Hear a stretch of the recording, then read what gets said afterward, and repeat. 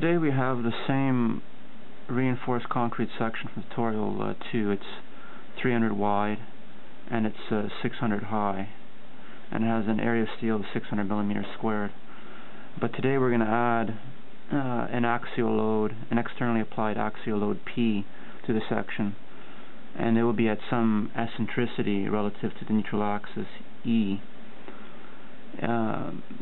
Uh, this uh, centroid I've drawn here at 305.8 was determined from uh, tutorial uh, 1, uh, 1.1, where we uh, looked at the neutral axis for an uncracked section, and if, if we apply an axial load right there at that point, it will it will mean that there's no bending. It'll be pure compression in that point.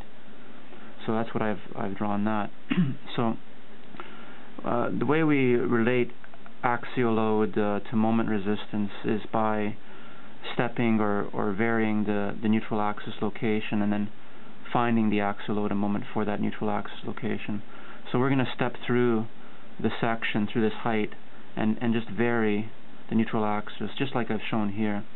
So this, we're always going to assume that this, the maximum stress in the concrete in the linear elastic range, the maximum is 10 MPa. We're just arbitrarily assuming that depends on what the concrete is. So in all these cases here,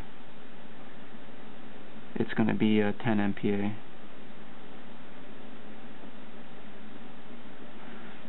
and then when the uh, neutral axis uh, is shifting, we see that the area of steel, or I mean the, the, the force in the steel is is decreasing. So we're going to plot all that in the in a chart form for different values of c. So, but the first thing we got to do before anything is really derive the equations of statics that describes this interaction between axial load and moment. So let's let's start that. So we have the force in the concrete.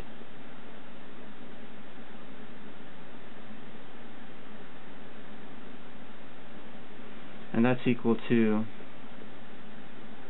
uh, one half of 10 MPa. This is a triangle here. One half of 10 MPa times uh, C times B, which is 300.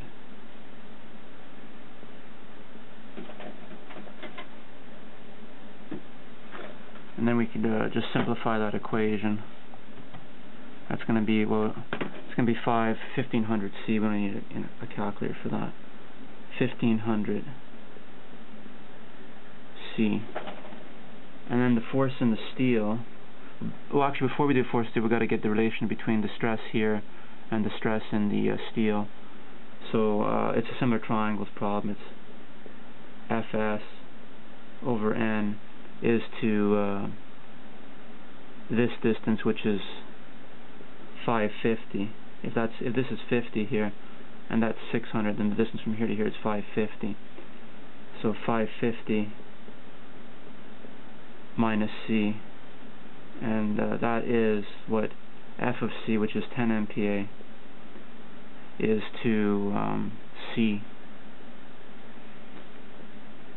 And from that we can uh, derive what Fs is, the stress in the steel, in terms of the stress in the concrete. F of steel would be um, 10, well it would be, uh, yeah, 10 MPa uh, times 550 minus C uh, divided by C times N. And N is uh, 8.11 in the previous uh, tutorial we, we calculated that. The modular ratio of the concrete uh, of the steel versus the concrete. And once we have this we can calculate the force in the steel force in the steel is just the area of the steel, which is uh, 600 millimeters squared times the stress in the steel. So it, I'll put in directly this uh, equation here. It's uh, 10 times 8.11, which is uh, 80. Well, I'll just say 10n. I'll call it 10n uh, times 550 minus C divided by C times the area of steel which is uh, 600 millimeters squared And we can simplify that further. We can say 10 times n, which is 8.11 times 600. That's 48,660. So that's going to be uh, 48,660 times 550 minus c divided by c.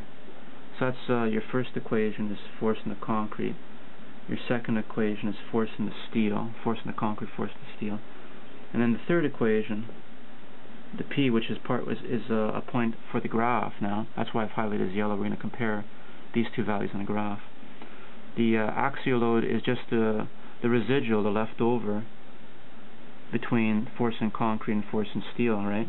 We have a force in concrete here, Fc, and we have a force in steel here, Fs.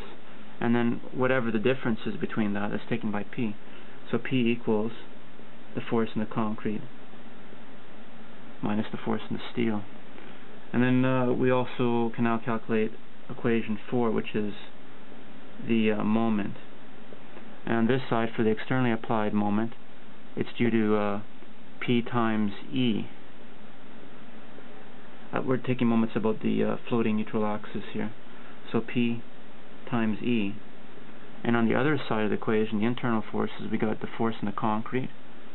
And that's, they're counteracting each other. So force in the concrete, which is from this, times the centroidal distance of this uh, stress distribution to the neutral axis, which is two-thirds c times two-thirds c.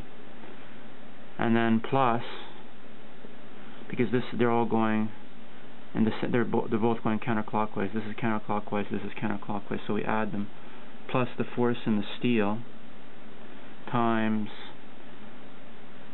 the area, uh, sorry, force in the steel times this distance here, from here to here, which is this distance d, 550, minus this distance c. So 550 minus c. And then from that, we can get equation 5, which is going to give us our eccentricity. We'll be able to calculate E now.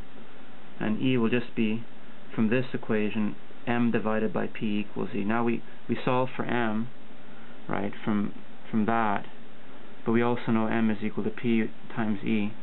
So e is equal to m divided by p.